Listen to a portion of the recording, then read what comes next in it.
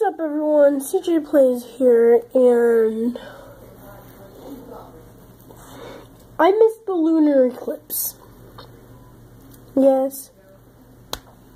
Got me mad. Because it hasn't happened since 1872, I believe.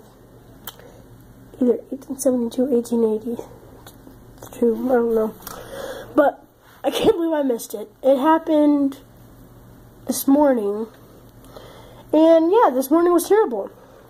Um, we didn't see it because I didn't wake up early and I was late for school, so yeah. Now I'm watching videos to see how cool and what I missed. Supposedly it's supposed to be tonight. I don't know because I've been reading some things. No, no. Well, it was absolutely beautiful. Um, it was beautiful. I'll show you the. That's the picture right there. Supposedly that's what it looked like. I don't really know to believe this or not, but yeah. I'm about to cry. Total lunar eclipse.